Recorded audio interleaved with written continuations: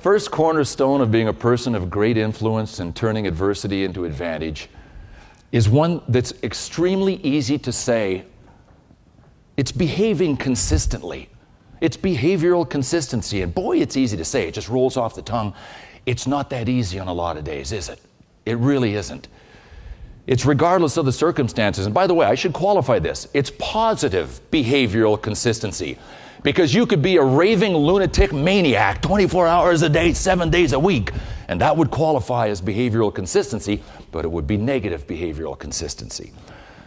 Behavioral consistency reveals over time the qualities that we must possess and exhibit in order to be successful like honesty and sincerity and follow up and follow through and dependability and reliability.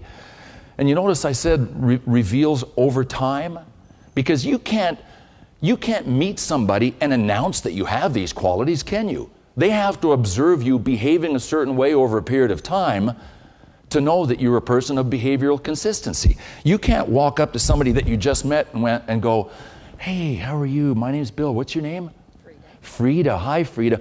I just want you to know I'm really dependable. Right? You could probably tell that. Mr. Reliability, Bill Clement.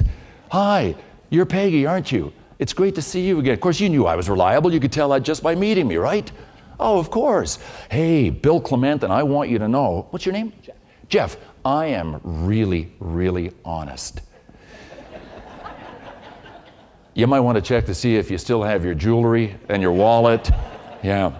Hi, I'm Bill. What's your name? Karen. Karen.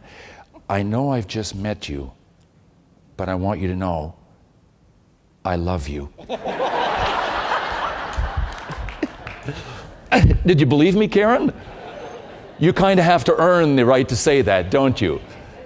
You have to earn certain things. Behavioral consistency helps us earn the two things that we must earn from others in order to be successful in any walk of life as a leader, as a parent, as somebody in the relocation industry. It doesn't matter. We have to earn people's trust and we have to earn people's respect. Those two are paramount. And you know when it's the most difficult time to behave consistently? The same time that you will be judged. During times of stress,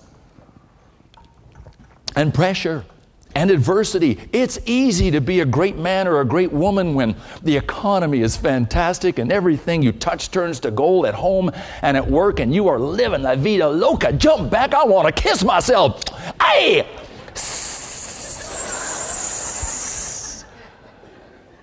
Yeah, remember when life was like that?